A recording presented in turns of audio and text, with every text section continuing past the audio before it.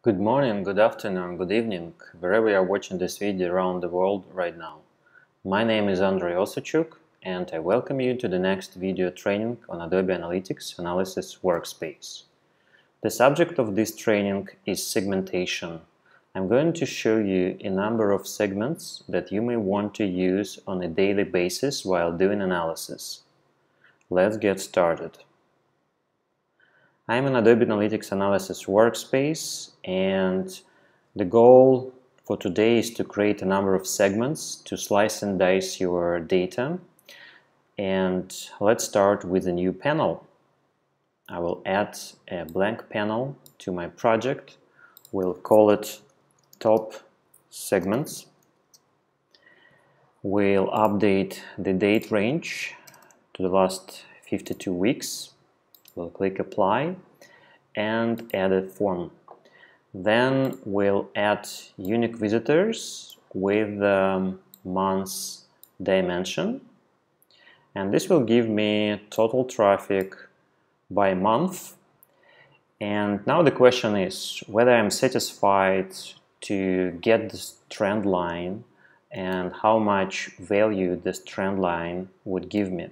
Obviously, analysis of averages is not a big deal and this usually will not help you to get insights. This is why you may always want to use different type of segments that are relevant to your business needs and uh, those KPIs that um, you analyzing on a regular basis. The very first two segments that I'm going to show you today and I advise you to create are new visitors and returning visitors. Returning visitors are those who came to your site for the second, for the third, for the fourth, etc. times. So let's build those segments together. As I showed you in my previous trainings, you can use at least 10 different methods for the segments creations. If you haven't watched that video, I advise you to look for for it after this video and get more skills in segment creations. So now I will click on the plus icon here, which will open the segment builder. And I'm going to create a segment which is called new visitors. The segment criteria or definition that I'm going to use will contain a number of um, components. The first one will be visit number. This is one of the out-of-the-box dimensions. Add this dimension to this area and set it to 1. Visit number should equal 1. This will include new visitors to your site and update the bucket to visitor. Many of the implementations that I reviewed had a mistake with this particular segment. The problem is that if you keep the segment as you see on the screen, this will not only show you new visitors, but also returning visitors. What we need to do now is to add another condition I will be using a container with a visitor bucket and I will again add the visitor number dimension and will set the rule to is greater than 1 exclude. This is the accurate segment for new visitors. That segment would return new visitors who came for the very first time to our site. Now the segment is ready and I will hit save.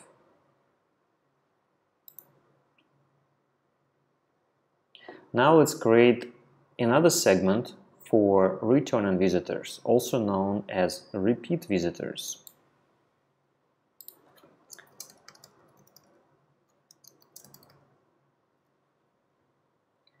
The segment will be built quite similar to new visitors, but with some changes. So first, select visitor and then again look for the visit number dimension.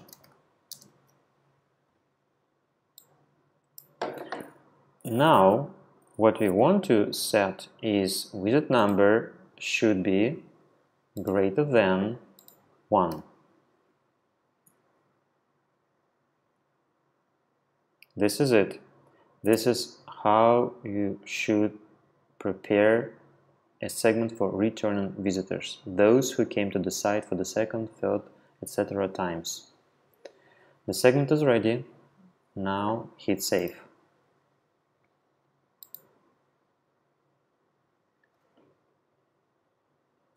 Since we added two segments that exclude each other, this is why we now see zero unique visitors. As I showed you in the previous trainings, you can also drag and drop this segment somewhere in the visualizations. I'm going to move these segments under the unique visitors metric. and then I will remove them from the area under the panel title.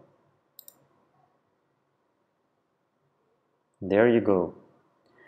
As you see now, uh, the percentages that are, show, that are being shown here do not represent a share of new and returning visitors for a given month. And in order to fix that, go to settings and switch the option to calculate percentages by row. Now it works as needed. So for example, in June 2017 there were 47% of new visitors and almost 53% of returning visitors. So the sum should give us 100%. You may always want to check whether those segments together give you 100% of your visitors, of your audience. A simple way to do that is to add the unique visitors metric to your table either on the left or on the right hand side. And now you can calculate whether it's working properly or not. So this number of new visitors plus this number of returning visitors should give you total number that you can see under unique visitors column. I can see that it's working accurately, so I'm sure that my segments are built accurately. What I'm going to do next, um, and recommend you to also do that as a part of this training, is to add the visualization I'm going to use a line visualization to compare new and returning visitors. So there you go. So now we can see that um, the green line is always above the blue line, which means that we have more new visitors than returning visitors. You can also update this to be shown as percentages. You can also update this to, for example, bar stacked visualization if you want to. In our case, since we only have two metrics that together give us 100%, this visualization also works fine. So now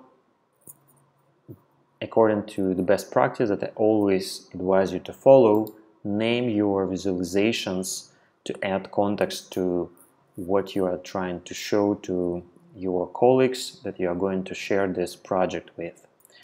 So I'm going to call it you versus returning visitors and I'm going to show the table in the same way. This was the first part of this training. Uh, the second part will include two more segments. I want to deep dive into new visitors and I'm interested to compare those who came to the site for the very first time and viewed one page versus those who viewed more than one page. And this would give me some more understanding about how engagement, how the content engages the visitors. So just a very simple example. You clicked on an ad somewhere, maybe you searched for something on search engines, and then you came to the site. If you are interested in the content of that site, you likely would look for some other pages and you would click through to the other pages. So you would view more than one page.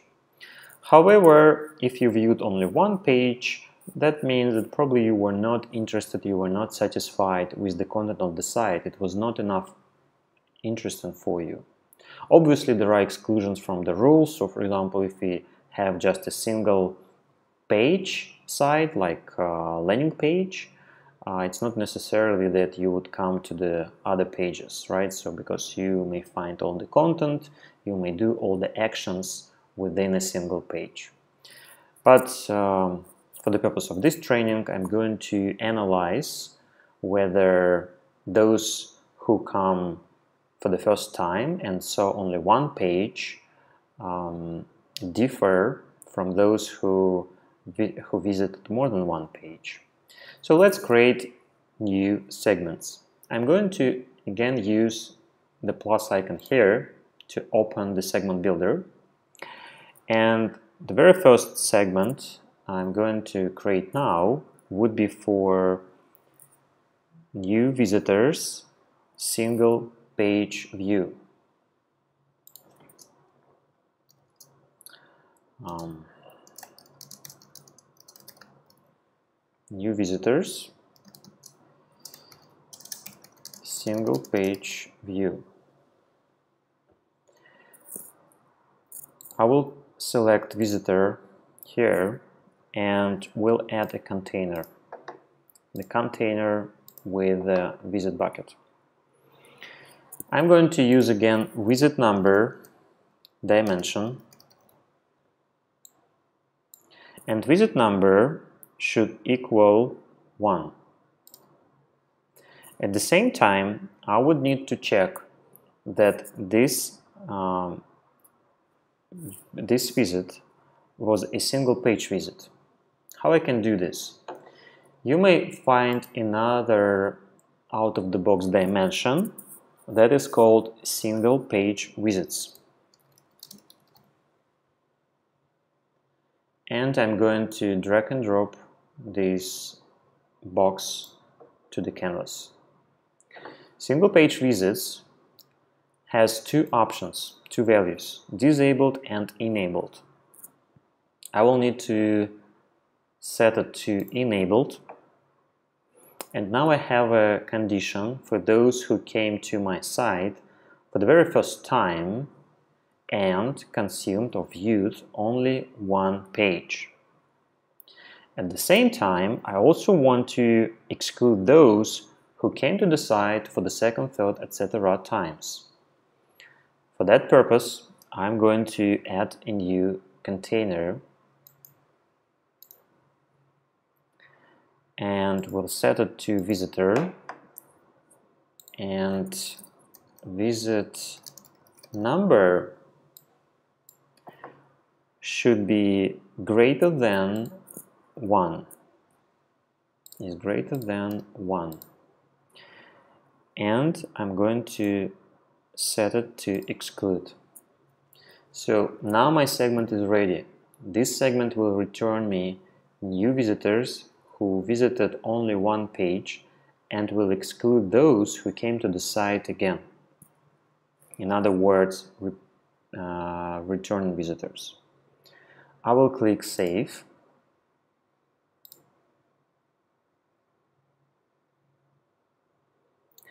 and will make a copy of my table that I created previously.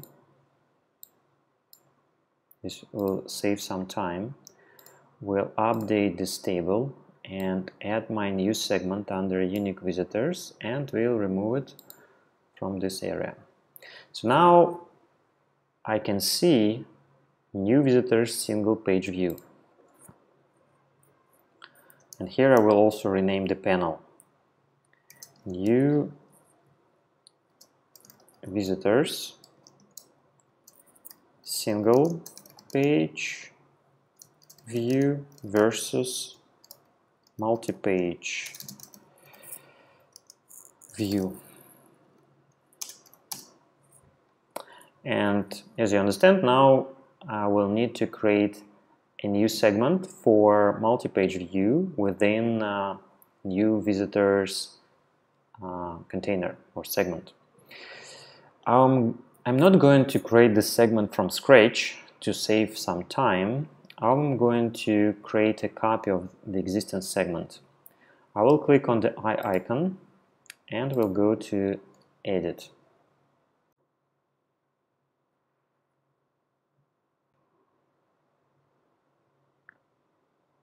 Now let's start changing the segment. Multi-page view and you might think that I would need to change many uh, criteria here but actually only one of them which is single page visits now should not equal enabled this is not clear when you look through the documentation. This is why I'm showing this to you. So visit number equals 1 and then single page visits doesn't equal enabled will mean that the visitors viewed more than one page. And as in the previous segment, we also will need to exclude those who came to the site again, returning visitors. This is it. I'm going to save as this segment that will create a copy. And if I go to segments and look for multi, uh, there you go. This is my new segment. I'm going to add it under unique visitors. And now we have full view on um, single page view and multi-page view new visitors. As I showed in the previous example, you always want to make sure that the sum of these two um, segments will give you total uh, total of uh, new visitors. So what I'm going to do now, I'm going to open this uh, table and check. New visitors is uh, here 9973 um, and if we sum up these two numbers together, we will get exactly that number.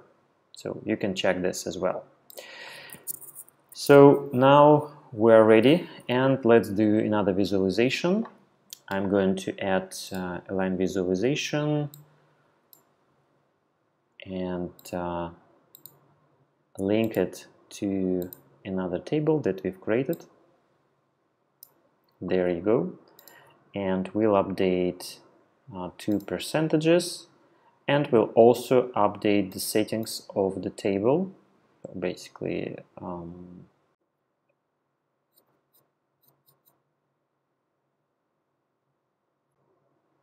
all right so I felt that um, I would get um, the percentages the way that they will be showing me 100% uh, but it's not the case since uh, they must be showing us the percentages um, for the from the total traffic for this particular date range.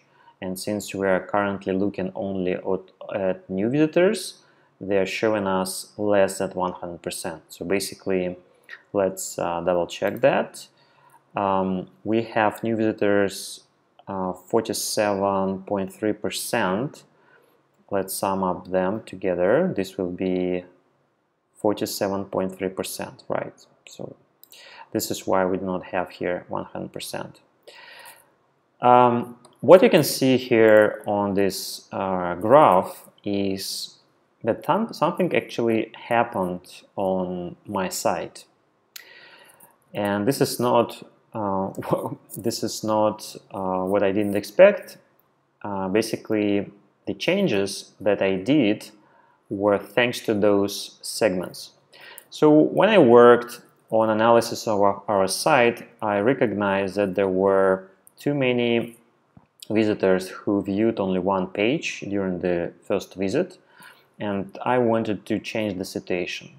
So now you see that the green line is showing us that segment, those who viewed only one page. And we did the changes on our site, on many pages, to increase engagement. And as you can see, as of March, we were successfully updating uh, the content and the number of those who started viewing more than one page increased. So this is how you also want to do uh, the analysis and then actions. So I'm not, I wasn't going to show you those segments just because they're quite interesting. But when you build these segments, you can then track um, how your changes on the site or the changes with your acquisition channels will impact the engagement on your site, whether those changes were for the better or for the worse.